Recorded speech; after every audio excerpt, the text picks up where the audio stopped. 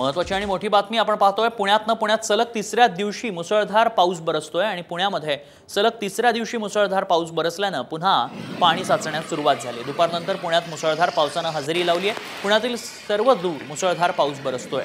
हवामान विभागानं आज पुणे जिल्ह्याला अलर्ट जारी केला आहे त्यामुळेच पुण्यात पावसाला सुरुवात झाल्याचं पाहायला मिळत आहे महत्वाची आणि मोठी बातमी आपण बघतोय पुण्यामध्ये पुन्हा एकदा नद्यांवर न- रस्त्यावर पाणी येऊ लागलेलं त्यामुळे रस्त्यांना नद्यांचं स्वरूप प्राप्त झाल्याचं पाहायला दुपारनंतर आता पुण्यात मुसळधार पावसाला सुरुवात झाली.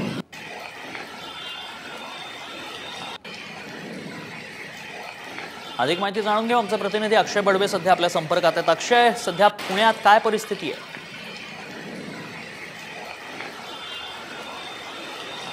निश्चितपणाने गेल्या दोन ते तीन दिवसांपासून आपण जर पावसाचा ट्रेंड बघितला तर अतिशय कमी काळात मोठा पाऊस पडतोय असा ट्रेंड जो आहे तो पुणे शहरात आपल्याला गेल्या तीन दिवसांपासून प पाहायला मिळतोय. म्हणजेच आज तिसरा दिवस आहे.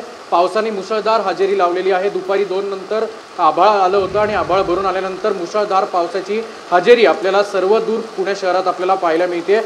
काही प्रमाणात आपण जर रस्ते बघितले ते देखील आता त्या रस्त्यांना नदीचं स्वरूप आलेलं आहे. सगळ्यात महत्त्वाचा अपडेट याबद्दल आपल्याला मानावा लागेल की हवामान विभागाने पुणे शहराला आणि जिल्ह्याला रेड अलर्ट जारी केलेला आहे. त्यामुळे पुढचे चोवीस तास देखील पुणे शहरासाठी महत्त्वाचे असणार आहेत. दुपारपासूनच खरं तर विजांच्या कडकडाटासह अनेक भागांमध्ये मुसळधार वरुणराजाची हजेरी आपल्याला पाहायला मिळते उद्या पंतप्रधान नरेंद्र मोदी यांची सभा जी आहे ती देखील त्या सभेवर देखील आता पावसाचं सावट आलेलं आपल्याला पाहायला मिळतंय. कारण हवामान विभागाने असा अलर्ट देखील जारी केलेला आहे. प्रशासनाकडनं पूर्ण तयारी जरी झालेली असली तरी उद्या पाऊस नेमका किती वाजता बरसतो आणि त्याचा काही परिणाम पुण्यातील मोठ्या कार्यक्रमावर होतोय का हे देखील पाहणं महत्त्वाचं ठरणार आहे. पण आत्ता गेल्या अर्धा तासांपासून आपण जर पाहिलं तर पुणे शहरात आणि उपनगरांमध्ये मोठा पाऊस झालेल्याचं चित्र आपल्याला पाहायला मिळतंय.